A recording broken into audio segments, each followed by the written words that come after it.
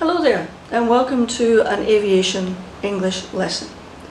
Now first of all I'd like to point out we're not here to teach you uh, proper aviation English like standard phraseology. What I am here to do is to improve your English language skills. However, I would like to touch on the difference between standard phraseology and plain language. Standard phraseology is the language used between pilots and air traffic controllers on takeoff, flying and landing. Now there are situations which cannot be covered by standard phraseology and then plain language is used.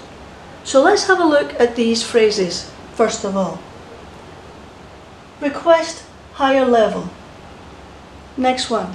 Say again. Next one. Will you hold? Would you confirm our ETD, estimated time of departure? This one. Have an ambulance standing by. This one. Could you stand by 10 minutes? And this one. May I amend our flight plan? So I'll give you ooh, 30 seconds.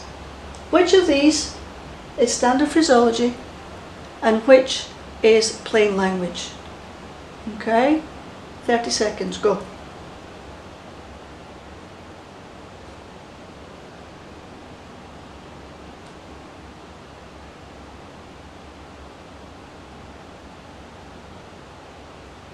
Have you got it yet? 10 seconds. Have you figured it out yet? Okay.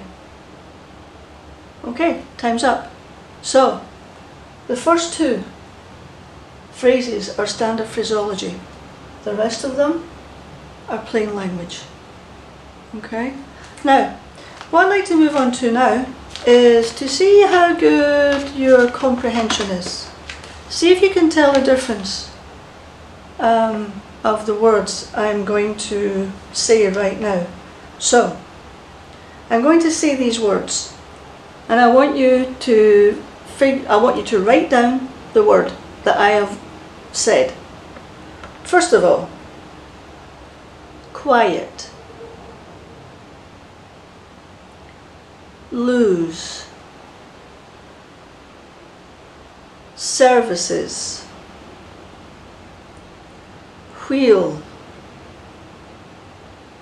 area, feed, ridge, eyes, washing, and the last one, heat. So I'm going to write down the correct answers now.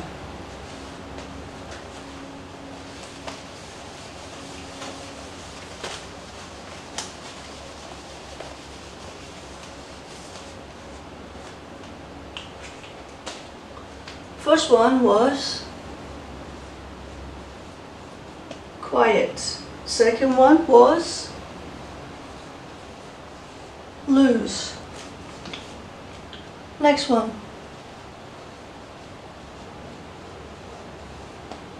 Services, number four. Wheel, number five. Area, number six. Feed, number seven. Ridge, number eight. Eyes, number nine. Washing. And the last one, heat. So, did you get all 10 correct? If you did, give yourself a pat on the back.